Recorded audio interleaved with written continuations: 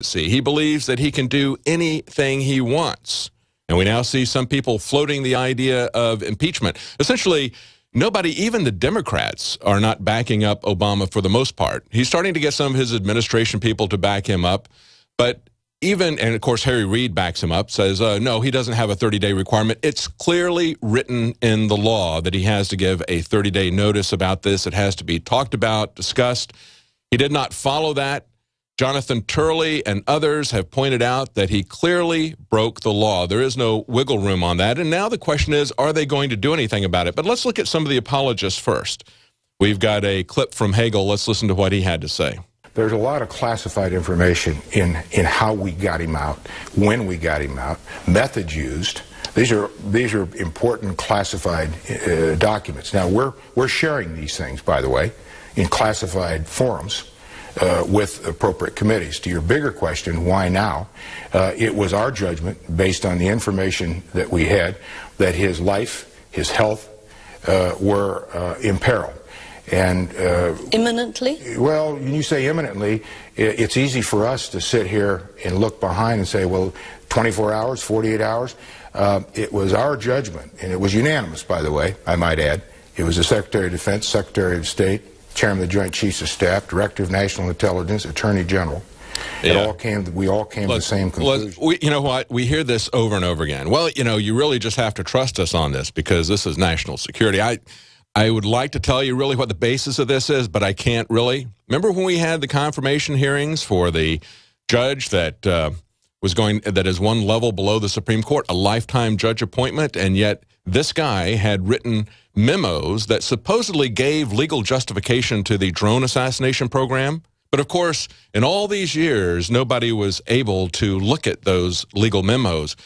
When Rand Paul and others started to make an issue out of that, that this guy had written secret memos to essentially assassinate American citizens abroad, justifying that presumably with some legal argument, they said, well, you know, you're going to appoint him to uh, a very high court position, a lifetime appointment. Let's see what this guy's legal arguments are.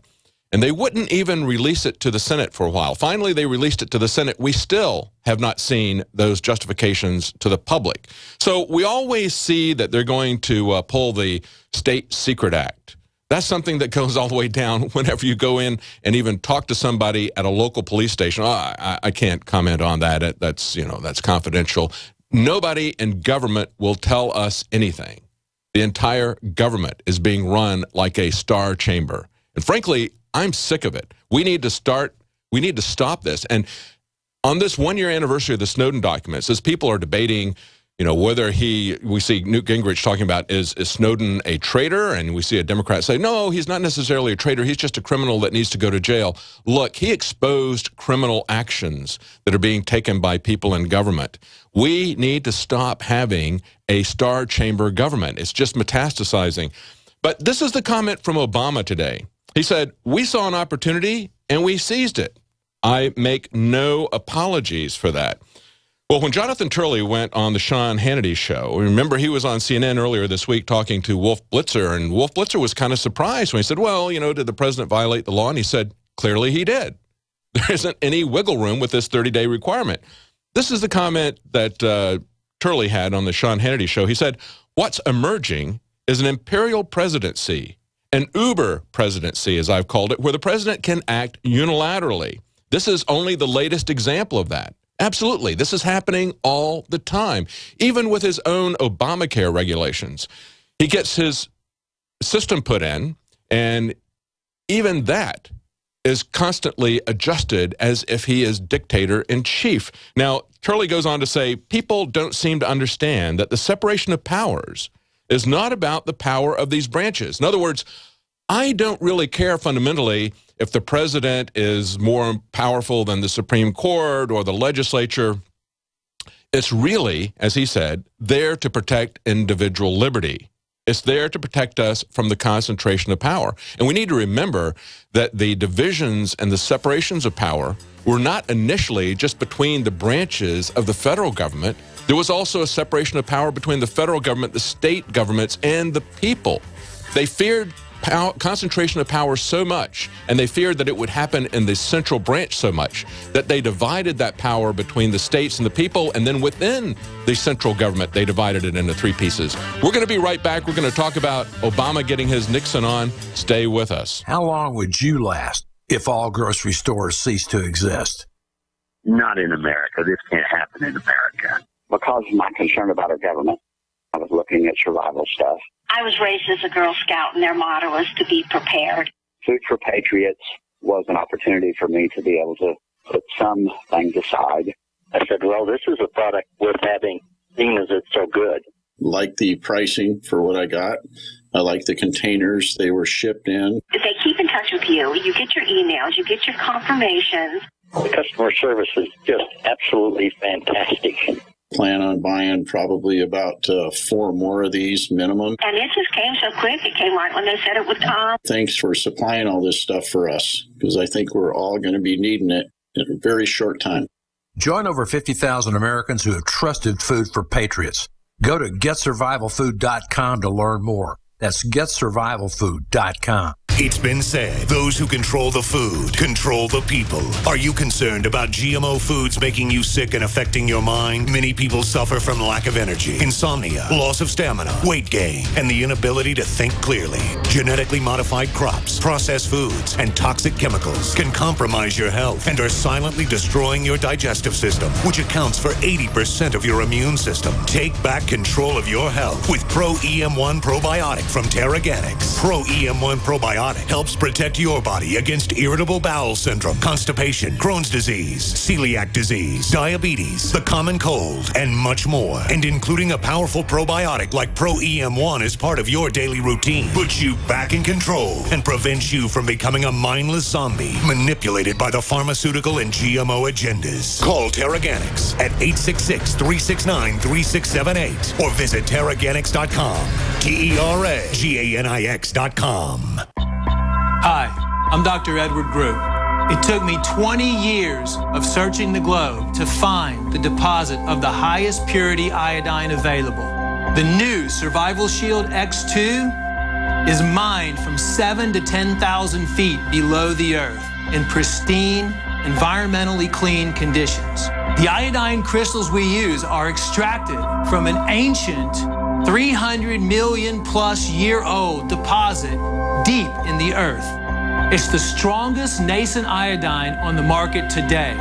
It delivers 650 micrograms per drop. Experience the new formula. Experience the ancient purity. Shield your family. Survival Shield X2. Available now at InfoWarsLife.com. X2 from InfoWarsLife.com or call toll free 888 253 3139. Are you happy doing your laundry with perfume detergents that irritate your skin? Are you happy washing your hands with stinking fragrances that gives your skin rashes? Are you happy paying new higher prices for smaller boxes? Find your happiness today with our 1 to 4 year supply of pure soaps or our 1 to 2 month sampler with bar soap, shampoo, laundry and dish soap at 5starsoap.com. You deserve the best. Happiness is 5starsoap.com. Attention, all radio listeners. Survival Life is giving away free credit card knives exclusively to our radio listeners. Visit freecovertknife.com to see this covert knife in action and to claim yours free.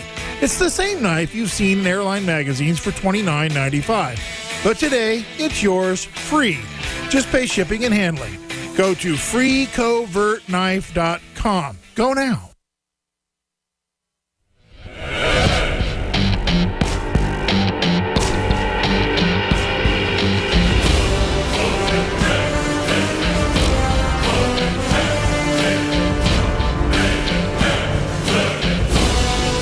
Welcome back to the Alex Jones Show. I'm David Knight on this Thursday, June 5th, 2014.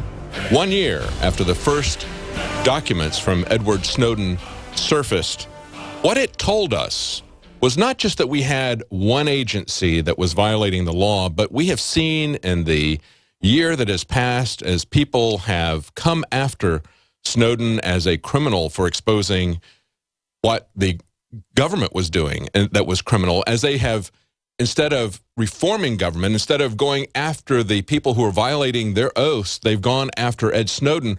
What we see is a government that embraces the secret surveillance state. We've seen how pervasive that is, how it goes from the top to the bottom of the government as we see that every part of government, from the White House down to local police departments, don't believe that not only are they not, not accountable to anyone, but they don't have to even give us any information about what we're doing. To me, that is the core thing that we're seeing here. It's an arrogance against the people to say that they are not accountable to the Constitution and they are not accountable to the people. And we see that in what Obama is doing. He doesn't believe that he's accountable to the law, to the Constitution, to the people, to anything. And we now see people from both the left and the right who are criticizing him for this. And we have Jonathan Turley, who was on Sean Hannity. I was just reading that quote where he said, people don't seem to understand that the separation of powers is not about the power of these branches. It's there to protect individual liberty. It's there to protect us from the concentration of power. He says, you know, I've said it before, Barack Obama is really the president that Richard Nixon always wanted to be. You know, he's been allowed to act unilaterally in a way that we've been fighting for decades. See, when you separate power between the central government and the states and the people, as was the original design, as you separate power between these different branches in government, that those are just merely tactics. The real target is individual liberty. That is the goal. And we can't have that when we've got a government that has nothing but contempt for the Constitution, for the rule of law. Now, on the right, George Will had a essay, and he pointed out that Richard Nixon famously said to David Frost, when the president does it, that means it's not illegal. Doesn't that sound like Barack Obama? Doesn't that sound like the presidency we have now? He goes on to analyze the way that Politico explained what was going on. Politico kind of played semantics with what happened. They said that Obama's assertive act defied Congress. And Will points out, defied Congress? I thought it defied the law. That's what they're doing from the Edward Snowden documents showing that the NSA and all these different government agencies are defying the law the Foreign Intelligence Surveillance Act that was put in. Remember that that was put in in the wake of the Church Intelligence uh, Committee hearings back in the 1970s, looking at the abuses of the CIA, trying to make sure that they did not become a predatory spy agency like East Germany spying on American citizens. So they created this FISA Act. And they said, we're going to allow you to do intelligence of people that you think may be enemies of the United States abroad, but you're not going to do that here domestically. And now that has become something of a star chamber court where they can go in and without, they call the FISA court a court. It's uh, not a court in any way, shape, or form. There is one single person, a political appointee, who sits there and hears one person from the government. It's not an adversarial relationship there. There's no transparency. There's no public knowledge of what's going on. And yet, as they have these secret hearings between one judge and one bureaucrat from the administration, they believe that these decisions that they come up with have the power to modify our Constitution. Those are simply head games they're playing with themselves. They're engaging in criminal actions, and we need to call them on it. And fortunately, we've seen that over and over again with these Snowden documents, people are starting to understand what's going on. The question is, will we do anything about it? The question is, will our legislative leaders do anything about Obama's criminal actions? Now, in a story up on InfoWars today from Alexander Bolton on the Hill, we see that Lindsey Graham is warning that the Republicans might impeach Obama for what he's done, releasing these five Taliban prisoners from Gitmo without following the procedure. Do you think? This is kind of, how many times have we heard this before? We always see the Republicans come out and say, oh, this is really bad. You know, one more time, one more time, we're going to do something about it. How many times does he have to break the law before they do anything about it? Now, we're going to take your calls. I want to get your take on the Snowden events and uh, what's happened in the last year, call us on 800 259 9231. Give us your take. on what's happened in the last year and what you think needs to be done. Stay with us. We're on the march